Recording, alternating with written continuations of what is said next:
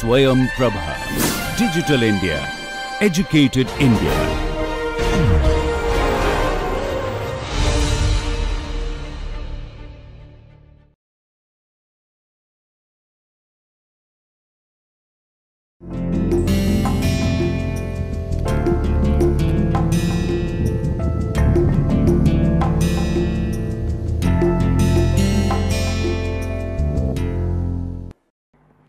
Okay, so we have uh, looked at this actuator disk theory and all these uh, for the propeller.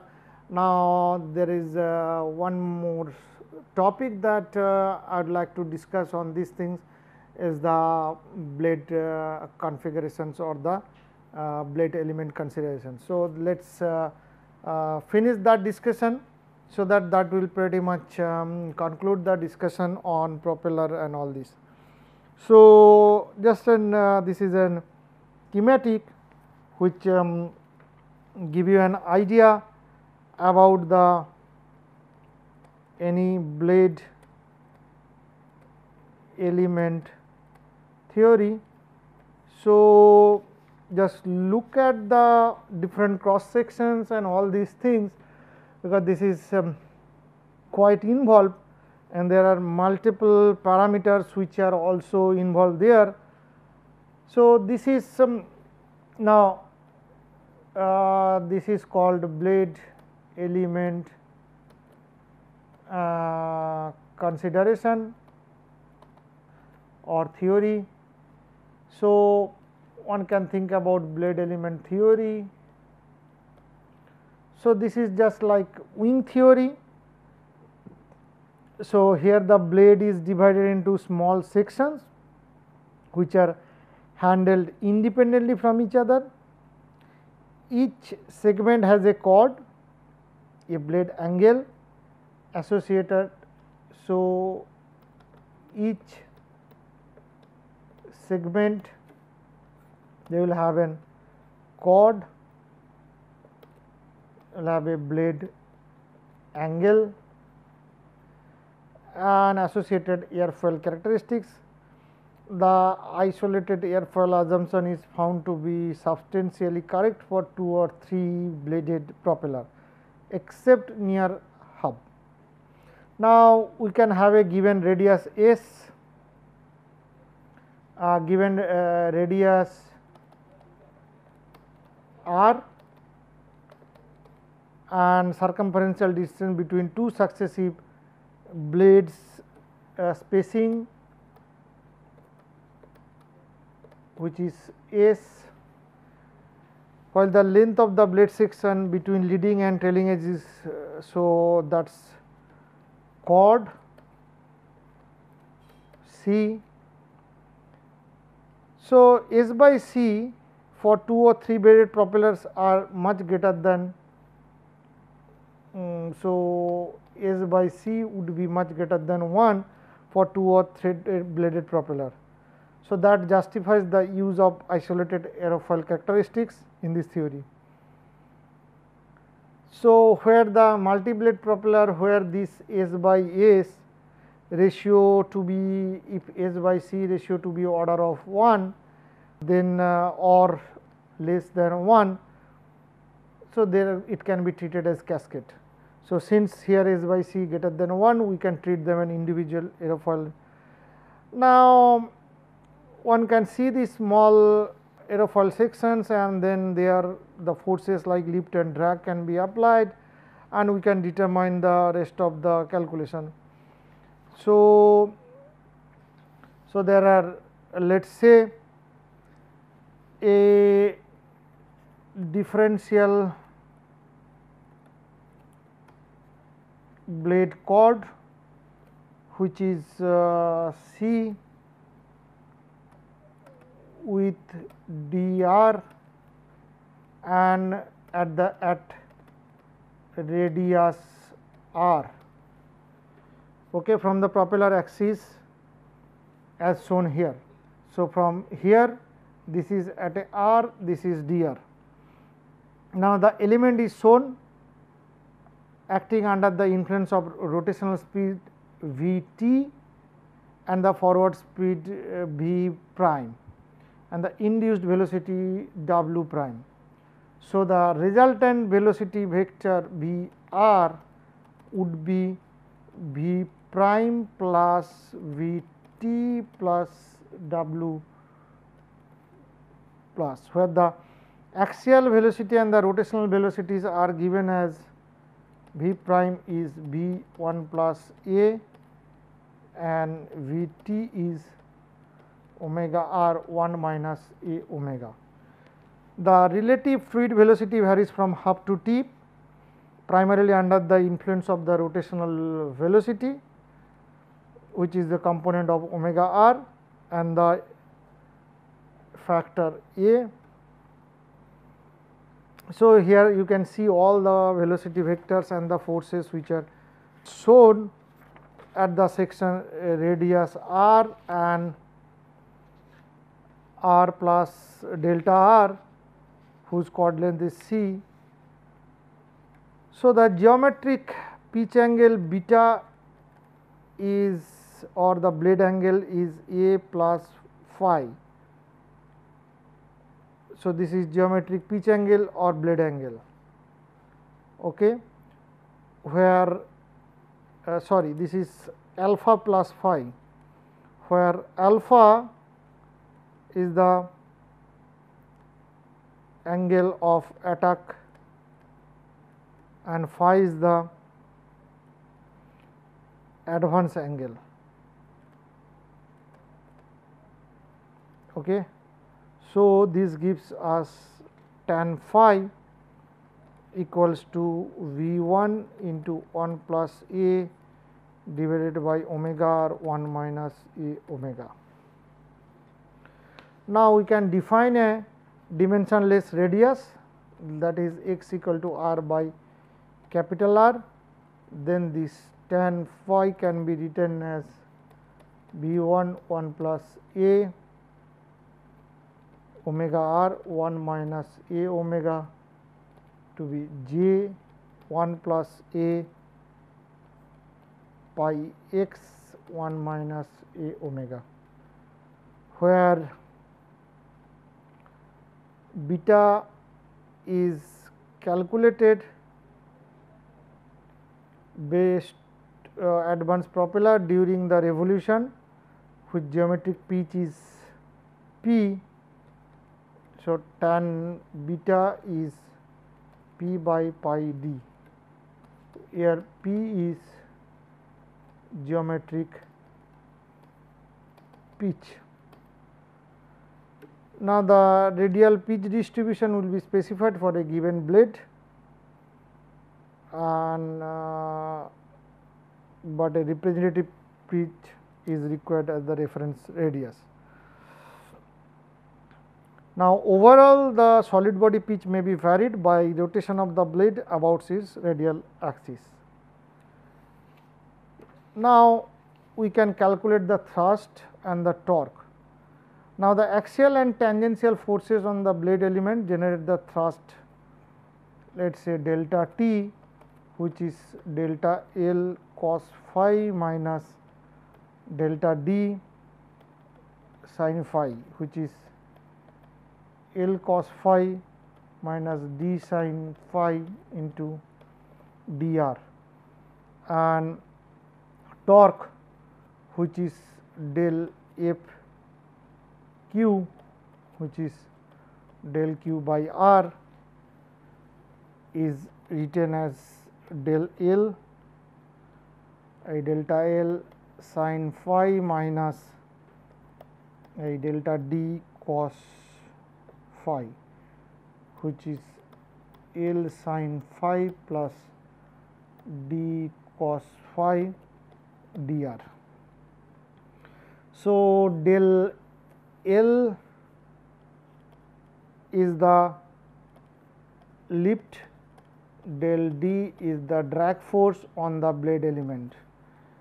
Now, introducing other definitions of the lift and drag coefficient CL and CD with the dynamic pressure Q, this uh, CL could be defined as L by half rho V r square C C D is d by half rho V r square C where Q is 1 half rho V square.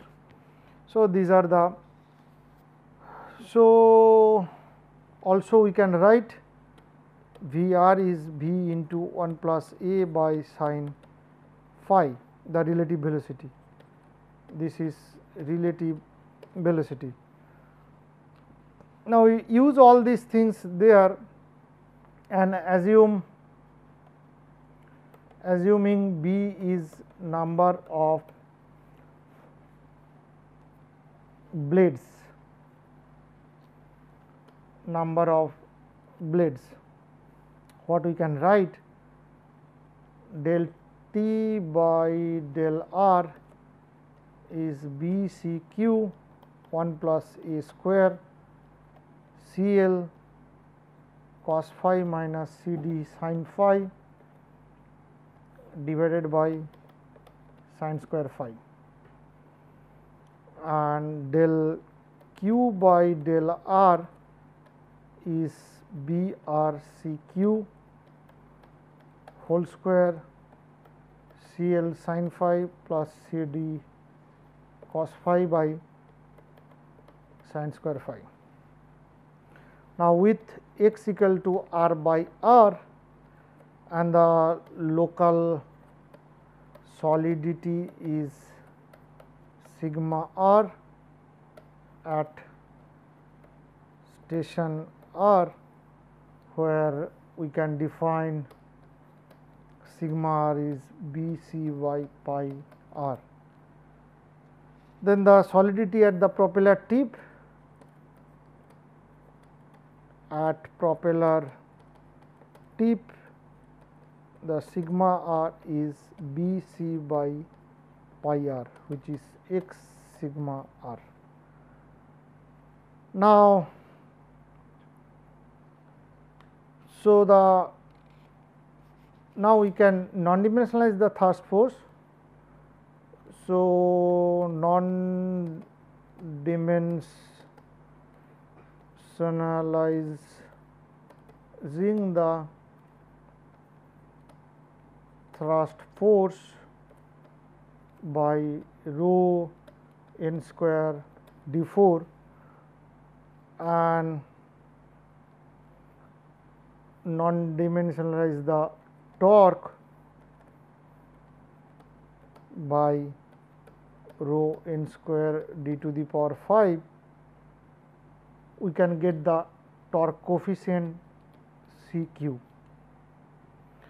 So, let us see how they look like like d c t by d x which would be pi by 8 sigma r j square 1 plus a whole square C L cos phi minus C D sin phi where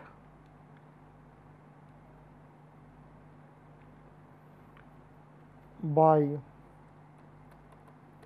sin square phi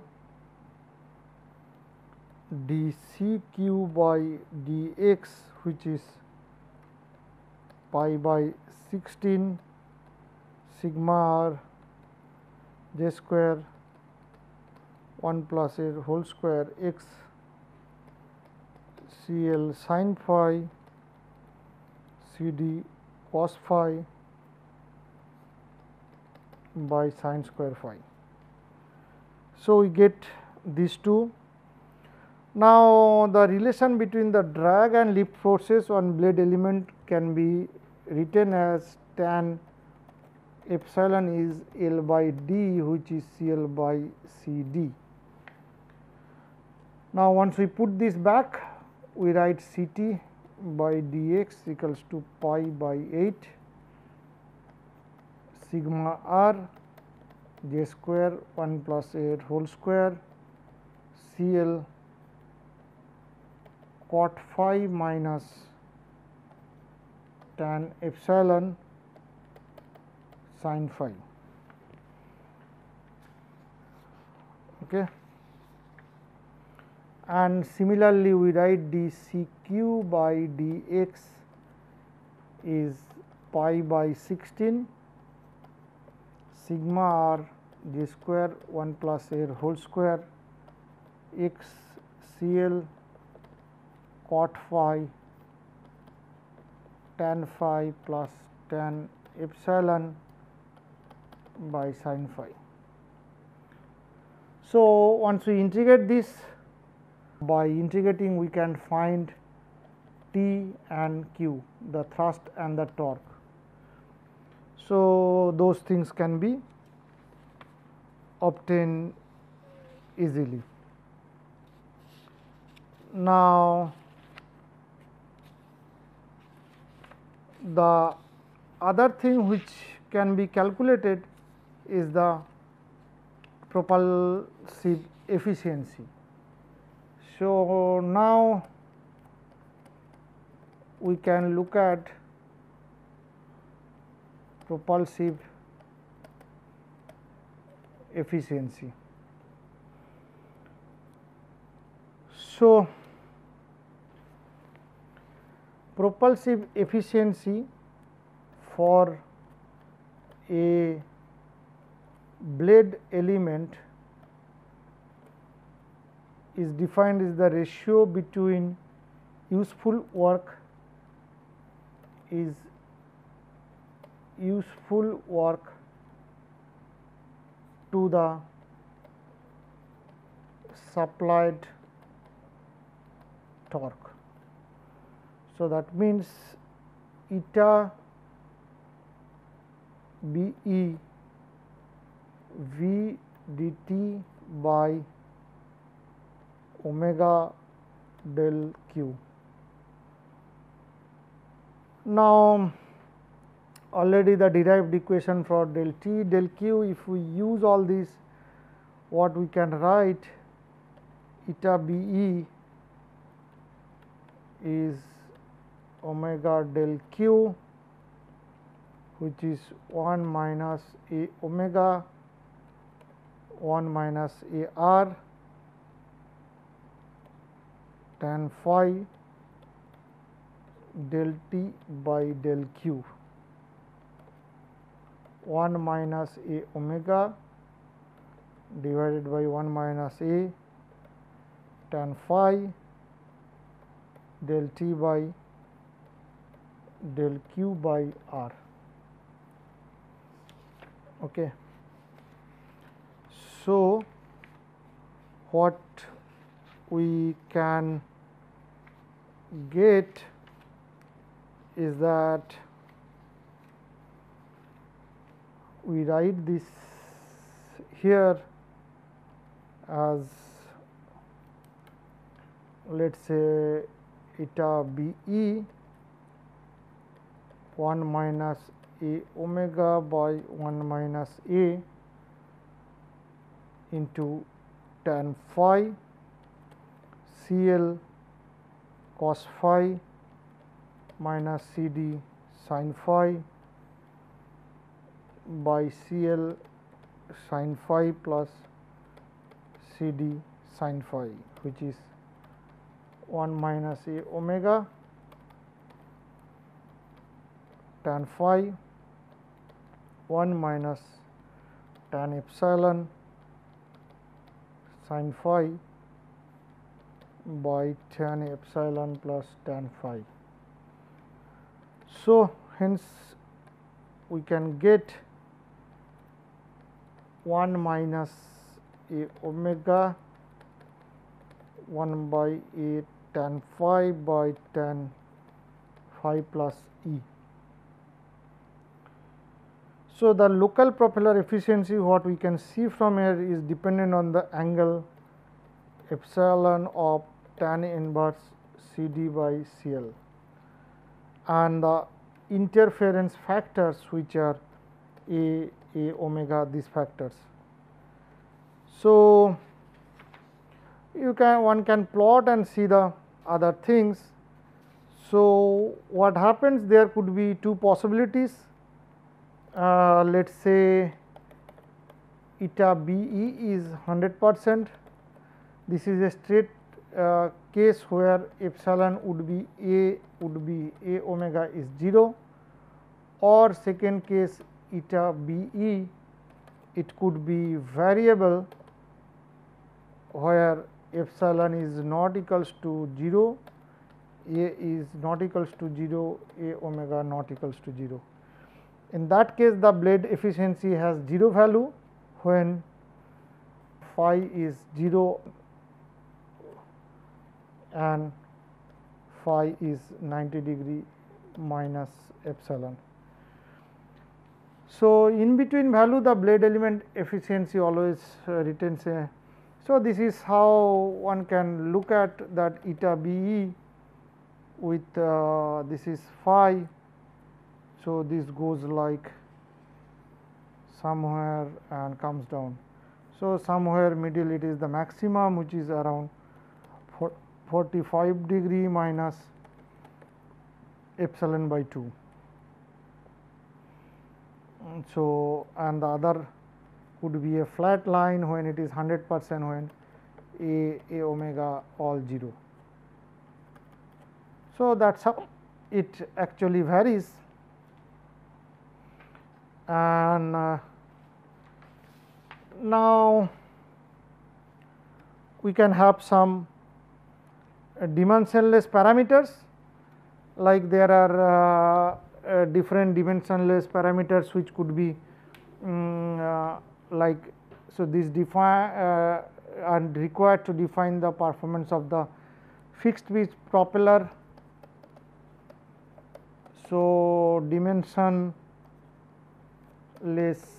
parameters where we can have. So, actually it requires uh, 9 independent variable 9 independent variables to define this like in subsonic uh, 9 independent variables are required.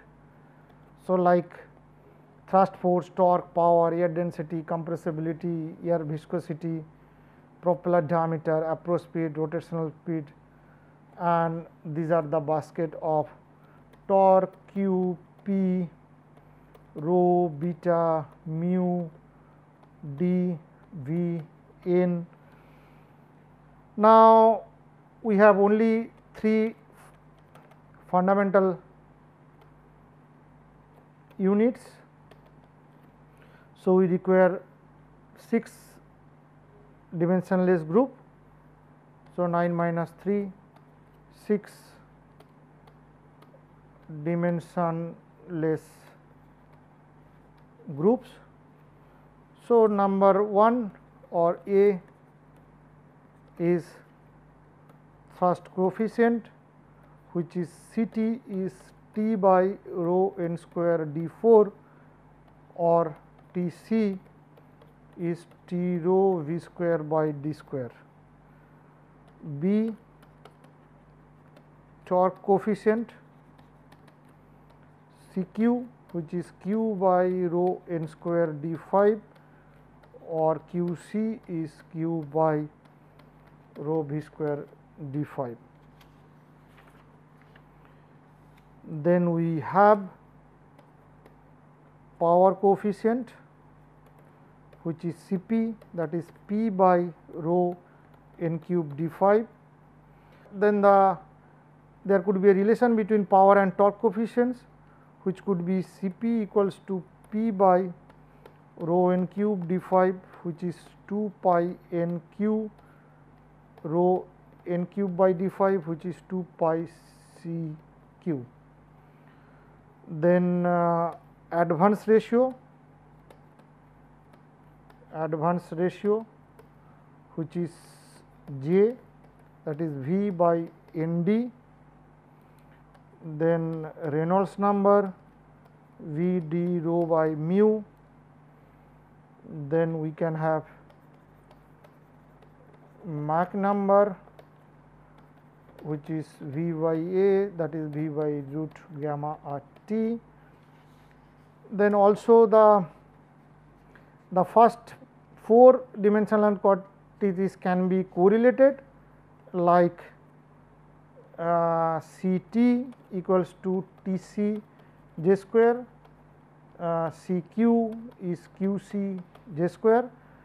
And another important dimensional quantity is the speed power coefficient which is denoted as Cs or sometimes Cps which is as rho V 5 by P n square to the power 1 by 5 or Cs 5 equals to rho V 5 by P n square rho n cube d 5 by P into V 5 by n 5 d 5 that is j 5 by C p or C s equals to j by C p 1 to the power 5. So, we can also again using this uh, relationship that we obtained again those uh, factors that a and b we can write using these b equals to 2 a equals to minus 1 plus minus 1 plus 8 by pi T c. Now, the actual propulsive efficiency can be now expressed eta p equals to T v by p which is T v by omega q j C t by 2 pi C q which is j C t by C p. So, typically uh, f or the Froude efficiencies could be 1. Now, also in uh, actual propulsion efficiency is much less than the Froude efficiency because of some losses which are not involved in the actuator disk theory which could arise from let us say uh, rotational flow, rotational flow. So, these losses could arise from there, profile drag, the flow over the propeller blades when there would be profile drag or the form drag or the viscous friction. So, these are also ignored in the disk theory. So, this is a rotational flow about the rotor axis in the wake, then uh, interference interference effect that is also ignored then compressibility effect. So, these are actually not there and two other uh, important parameters relevant to propeller power are power loading and this. So, the power loading or PL is P by d square which is C p rho n cube d 5 by d square C p by j cube rho v cube and activity factor which is A f. A f which is defined as 10 to the power 5 root 2 tip C by d r by d cube d r by d. So, these are also can be calculated and now there are propeller performance. So, the I mean there are different kind of propellers which are used based on uh, like NACA series. So, these are based on NACA series. So, it could be 4424 or something like that 4418, 2415 and one can do and there are different series which are available and their performance are kind of determined how this uh, I mean one can see this curve how the propeller efficiency and the advance ratio now the different blade.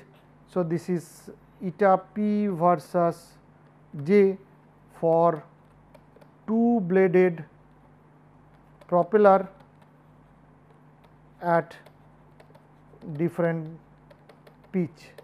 So, you can see how and the beta is the pitch angle like beta.